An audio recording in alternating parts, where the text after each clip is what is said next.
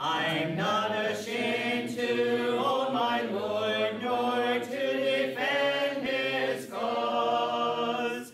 Maintain the honors of his word, the glory of his cross. I don't know about you, but looking out at this world can be very distressing and depressing.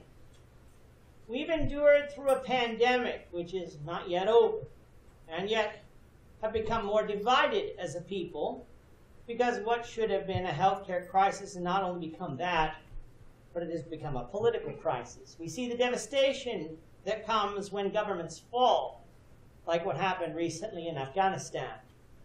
We see the rising cost of living here in Toronto, which is leading to more and more poverty.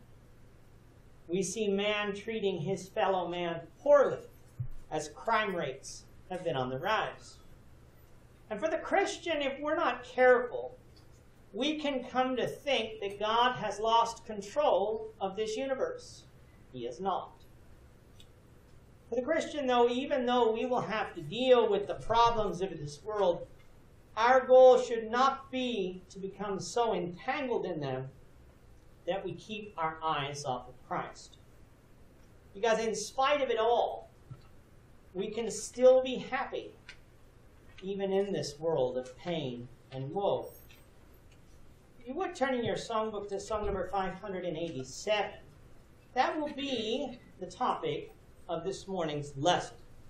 Every quarter, we take one Sunday to examine one of the songs that's found in our songbooks because we are taught in Ephesians 5 and Colossians 3 that when we sing, we teach one another in songs and hymns and spiritual songs. So if we're going to teach one another, we better know what we're teaching. And so the song is titled Sing and Be Happy. Verse 1 says, If the skies above you are gray, you are feeling so blue. If your cares and burdens seem great all the whole day through, there's a silver lining that shines in the heavenly land. Look by faith and see it, my friend. Trust in his promises grant. Verse 2 says, Often we are troubled and tired, sick with sorrow and pain. There are others living in sin, blessed with earthly gain. Take a courage we cannot tell what the morrow may bring. When the dark clouds vanish away, then your heart truly can sing. Verse 3 says, Oft we fail to see the rainbow up in heaven's fair sky, when it seems the fortunes of earth frown and pass us by. There are things we know that are worth more than silver and gold. If we hope and trust Him each day, we shall have pleasures untold. The refrain, which is sung in two parts, the main melody there says, Sing and you'll be happy today. Press along to the goal. Trust in him who leadeth the way. He is keeping your soul. Let the world know where you belong. Look to Jesus and pray.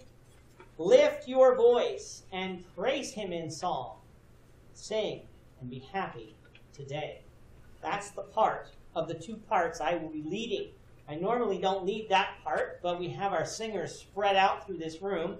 And so if I choose not to lead the main, the, the even though that's not the top part of the song, the, the if I choose not to lead the alto part of the song, I'm afraid the song will fall apart when we get to the refrain.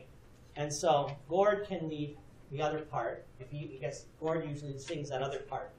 And so uh, I will sing the main, the main alto part in when it comes to the refrain. The song itself was written in 1940 by a man named Emory S. Peck. He was born on January 19, 1893, and died on October 9, 1975. Unlike some of the other songs that we have that we've examined, and the, the person was a preacher, or as the denominations might call a pastor, or some religious leader, this man was not. This man was a music teacher and a band director at Grinnell College in Gainesville, Georgia. And for people who don't know where Gainesville, Georgia, I had to look it up too.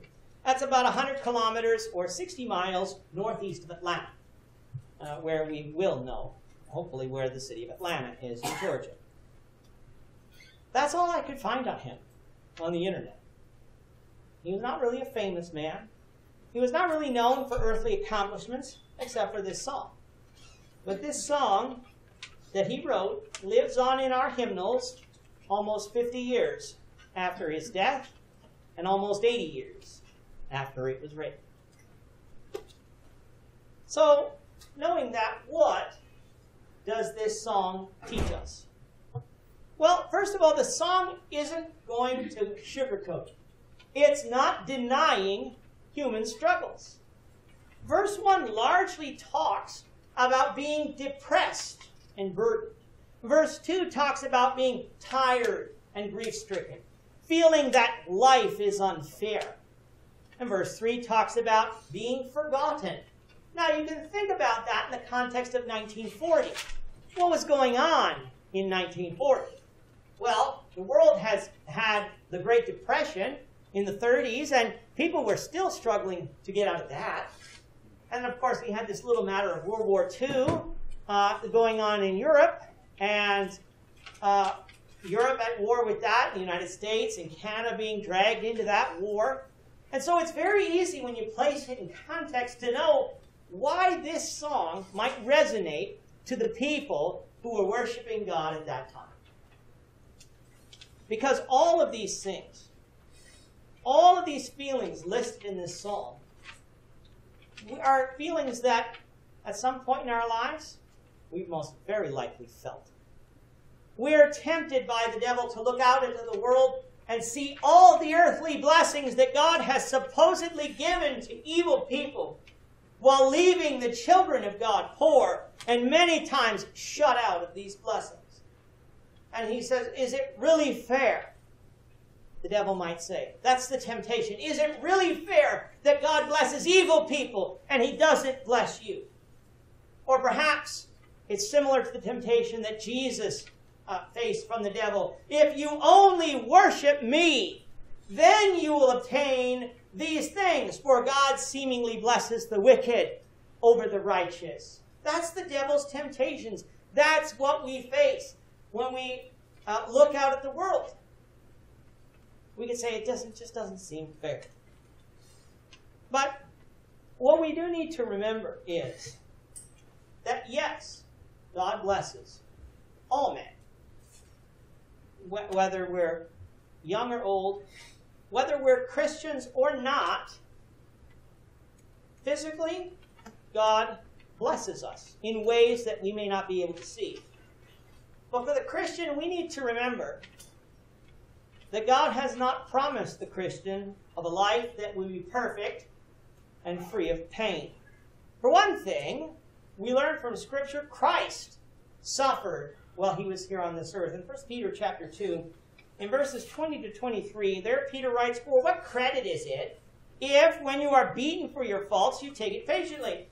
But when you do good and suffer, if you take it patiently, this is commendable before God. For to this you were called, because Christ also suffered for us, leaving us an example that you should follow his steps, who committed no sin, nor was the seed found in his mouth, who, when he was reviled, did not revile in return. When he suffered, he did not threaten.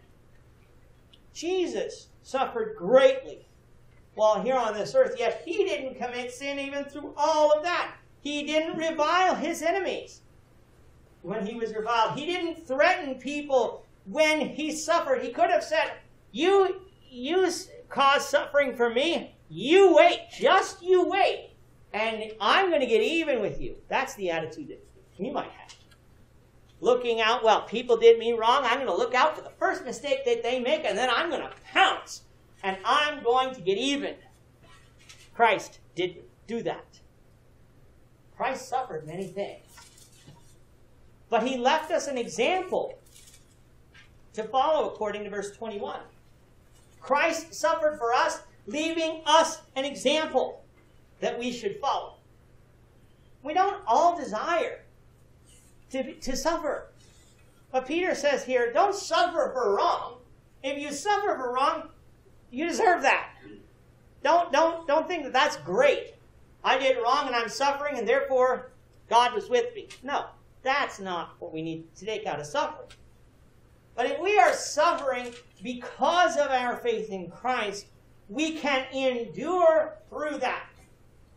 This endurance through suffering is commendable to God. And Christ gave us that example.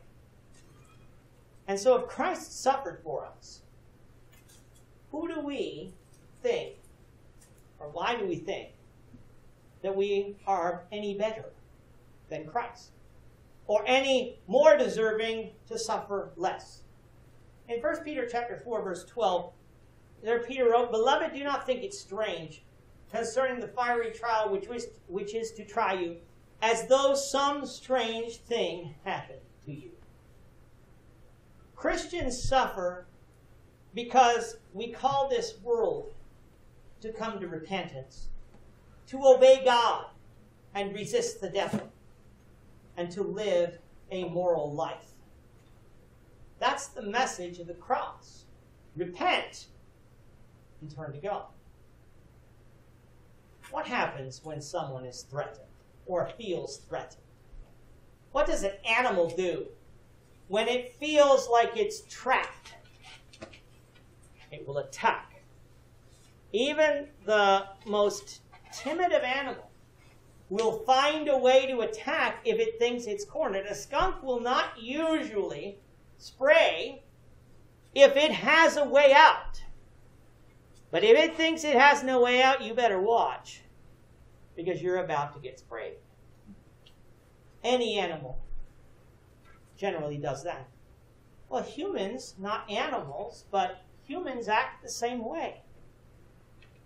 When someone threatens us and our way of life, what do we do? We try to fight back. We try to protect what we have. We try to alleviate the suffering. I'm not saying that protecting our loved ones or, or other things is necessarily wrong, but we better expect that when we're Christians, we're going to face persecution, that we're going to suffer. That, and this song doesn't deny that. The song doesn't try to say, well, you just need to pretend your struggles don't exist. You're a Christian now, just pretend. Or just think that they don't exist. The song doesn't deny that. And neither should we, because we do have struggles in this world. The song also doesn't pretend that our struggles, as I just said, simply don't exist. Instead, it tells us where to place our trust in order to find joy. In 1 Peter chapter 2, we're going to go back and we're going to read verse 20 to 23 again. But if you were following along, you'll notice I left out part of verse 23. This time, we will get it all. 1 Peter 2, beginning verse 20. For what credit is it if, when you are beaten for your fault, you take it patiently? But when you do good and suffer, if you take it patiently, this is commendable before God. For to this you were called, because Christ also suffered for us, leaving to us an example that you should follow his steps. Who committed no sin, nor was deceit found in his mouth. Who, when he was reviled, did not revile in return. When he suffered, he did not threaten, but committed himself to him who judges righteously. Jesus suffered, yes. That's the example we should follow. We can endure through suffering, but there's also another part of that example. We need to commit ourselves to God, just like Jesus did, because we know that God judges righteously. When we judge, how do we judge? Well, oftentimes we judge according to appearances we judge based on one side of the story. That's why it's always good when we are asked to judge something that we get both sides of the story. Because we are often, when we tell stories, especially if it concerns us, we will minimize the things that put us in a bad light, and we will maximize the things that put others in a bad light, and then we're going to ask, well, if that's the situation, what should I do? Or what should be the proper reaction? If we've not heard both sides of the story, we should not judge. Because we know we are fallible. We know that people embellish. And we know that we can make wrong judgments. Those are earthly judgments. God's judgments are different. Now, Jesus could have judged perfectly because he's God. He could have done so while on this earth. But when he was here, in the book of John especially, Jesus made clear that he left heaven. And there was a goal that he had here on this earth. His goal was to reveal the Father to the world by preaching the gospel of salvation. He did not come at that time, according to John 12, to judge the world. He came to, came to John, it came to the world to save the world. Judgment, final judgment anyway, will come later. He will judge. He will judge. And God will judge. God judges righteously because God knows all. So we should follow the example of Christ. Of course, this doesn't mean that we try to go out and not convince people of sin. That is a form of judgment. But we do not do so of our own authority. We do not come along and say, I judge you, or this is my judgment.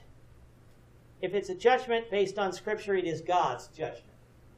Even the Archangel Michael in the book of Jude wouldn't condemn the devil. He says, The Lord rebuke you.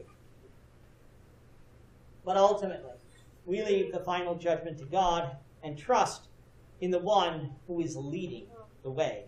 In 1 Timothy chapter 4, in verses 6 to 11, there we read, If you instruct the brethren in these things, you will be a good minister of Jesus Christ, nourished in the words of faith and of the good doctrine which, we, which you have carefully followed. But reject profane and old, and old wise fables, and exercise yourself towards godliness. For bodily exercise profits a little, but godliness is profitable for all things, having pr- promise of the life that is now, sorry, that now is, and the one that, which is to come. This is a faithful saying and worthy of all acceptation or all acceptance. For to this end we both labor and suffer reproach, because we trust in the living God who is the Savior of all men, especially those who believe. These things command and teach. It can sometimes be hard to let go of trusting in ourselves and placing tr- our trust in another.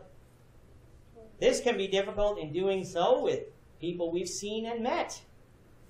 Now tell someone to do so with God whom we have not seen with our own two eyes. That requires faith. That requires faith not only that God exists, but that God can be believed to fulfill the promises that he has promised. Hebrews chapter 11 is full of men who in faith believed the promises of God. Abraham was told to leave his father's house and go to a country that is not theirs. You think about that society at the time, at that time. We live we might not take a look at that and say, well, we, we leave our parents' house when we turn 18, turn 20, now might be 30. Uh, uh, uh, what's the big deal? Everything in that society had to do with your family unit and your just your extended family. Your wealth, your name, your reputation came from your family. Abraham was told to give it up. Leave your father's house. Leave your name behind. Leave all of the reputation that you have. Go to a land that I will show you. I will make a great nation out of you.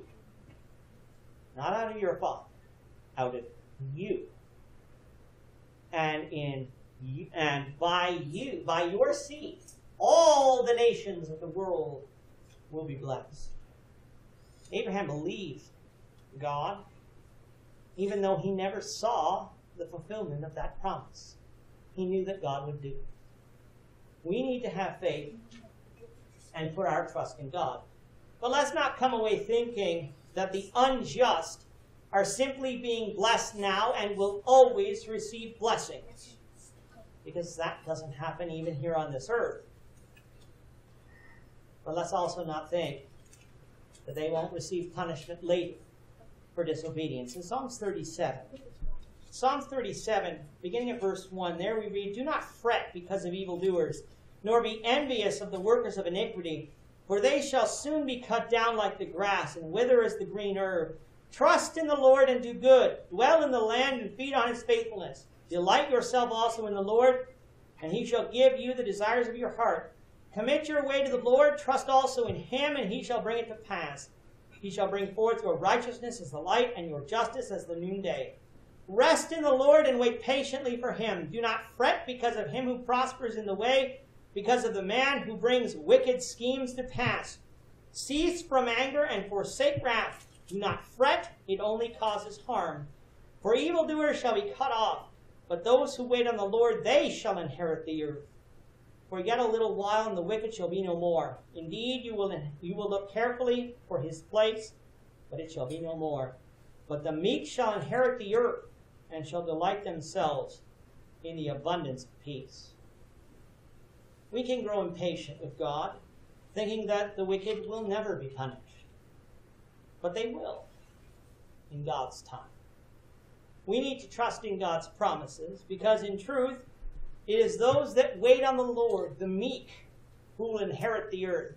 That should sound familiar because it's one of the Beatitudes in Matthew chapter 5. But when it says the meek shall inherit the earth, it means that the meek will be the ones who truly enjoy the earth's blessings because they will be content with what they have. The world seeks more. Christians should learn to be content.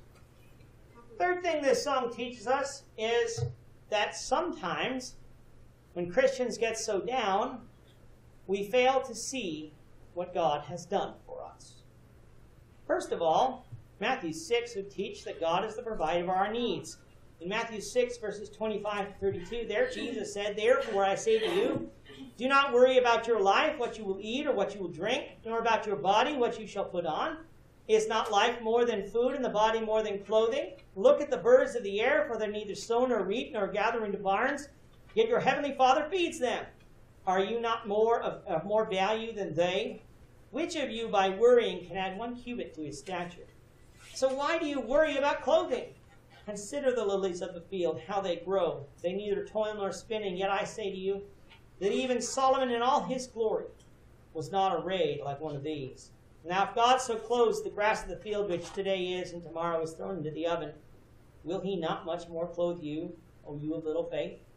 Therefore, do not worry, saying, What shall we eat? Or what shall we drink? Or what shall we wear? For after all these things the Gentiles seek, for your heavenly Father knows that you need all these things. God is the provider for our needs. He provides for our daily bread. He provides for our clothing. He provides for everything that we truly need. Now, we may not get everything we want.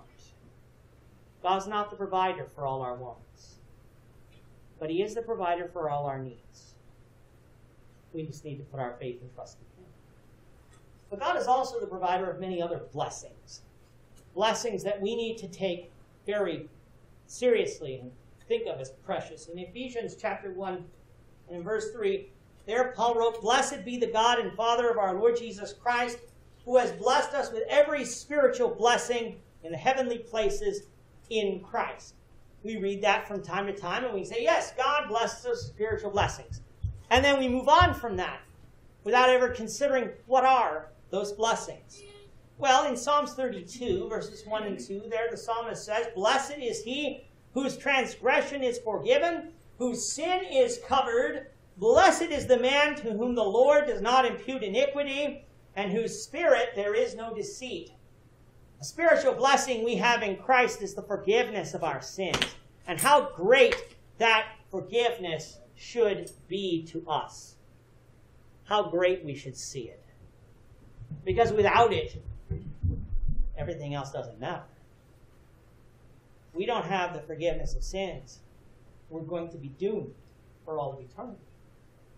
So, forgiveness of sins, that's a spiritual blessing found only in Christ. In Titus chapter 2 and verses 11 to 14, there Paul wrote, For the grace of God that brings salvation has appeared to all men, teaching us that denying ungodliness and worldly lust, we should live soberly, righteously, and godly in the present age, looking for the blessed hope and the glorious appearing of our great God and Savior Jesus Christ, who gave himself for us that he might redeem us from every lawless deed and purify himself his own special people, zealous for good works. What do we see here? Well, God has provided us his grace, his favor. That's a spiritual blessing that we have in Christ. He has provided us a blessed hope of the glorious appearing of Christ. We have a hope in Christ. We don't have hope out of Christ. We only have hope in Christ. Hope of what? Hope of heaven. That's a spiritual blessing that's found in Christ. In James chapter 4, verses 9 to 11, there James writes, Do not grumble against one another, brethren, lest you be condemned. Behold, the judge is standing at the door. My brethren, take the prophets who spoke in the name of the Lord as an example of suffering and patience. Indeed, we count them blessed who endure. You have heard of the perseverance of Job and seeing the end intended by the Lord. The Lord is very compassionate and merciful. What is one of the spiritual blessings found here? That we have the ability to endure through suffering. We count them blessed who endure. God provides us the ability through His Word to endure through temptation, to endure through struggles, to endure through strife. God will never leave us nor forsake us. That's a promise we have in Christ. But it's only in Christ. It's only in Christ. Sometimes we can focus so much on the bad that we fail to see the good. Let's not do that. Let's look past that. And so, knowing all this, this song teaches us to sing and be happy today. Singing is oftentimes sing, or sorry, seen as a happy experience. James 5.13 says, Is anyone cheerful? Let him sing psalms. So because of all what God has done for us, we should cheerfully lift up our voice and praise God in song, for he is deserving of such praise. Our final verse this morning will be from Revelation chapter 4. Revelation chapter 4, verses 6 to 11. Here is a scene of the worship in heaven. Revelation 4, beginning at verse 6. Before the throne there was a sea of glass like crystal and in the midst of the throne and around the throne were four living creatures full of eyes in front and in back. The first living creature was like a lion, the second creature like a calf. The third living creature had the face like a man, and the fourth living creature was like a flying eagle. The four living creatures, each having six wings, were full of eyes around and within. And they do not rest day or night, saying, Holy, holy, holy, Lord God Almighty, who was and is and is to come. Whenever the living creatures give glory and honor and thanks to him who sits on the throne, who lives forever and ever, the 24 elders fall down before him who sits on the throne and worship him who lives forever and ever, and cast their crowns before the throne, saying, You are worthy, O Lord, to receive glory and honor and power, for you created all things, and by your will they exist and were created. When we sing, sometimes I heard I heard a song this week uh, where the singer was singing a song and had a very catchy tune. We're gonna we're gonna forget the fact it was played with instruments, but a very catchy tune. I'm like, wow, this is an interesting tune. And you listen to the words, and the words were about him and his friend. It was a song, first of all, that really couldn't be sung outside the context of, of him specifically, because uh, it was about him and his friend. It was supposedly a praise to God. I heard very little praise to God in that song. I heard a lot about testimony. We hear a lot about testimony, and that's that's a lot of what religion is today. What is your personal testimony? And when you sit back and think about that, what does personal testimony do? It focuses the worship on us. There is nothing wrong with people knowing how we came to Christ. I met so and so who taught me the scriptures. I know I know there are members in this audience who have spoken to other people. Because they spoke to other people, they became a Christian. And people say, well, if I had never met so and so, I might have never realized that. But it's not glory to the person. Glory be to God who gave us his word. That's where our singing should be aimed. We sing and be happy because of what God has done for us. So, if the skies above you are gray, you are feeling so blue, there's a silver lining that shines in the heavenly land. Look by faith and see it, my friend. Trust in his promises grand. For the non Christian, you can only receive these grand promises if you obey God. You cannot receive them in the world. You cannot receive them apart from Christ. You need to be happy in Christ.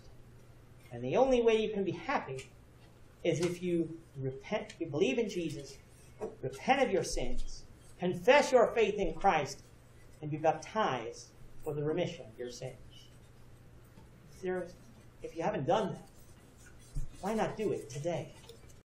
I'm not ashamed to own my Lord, nor to defend.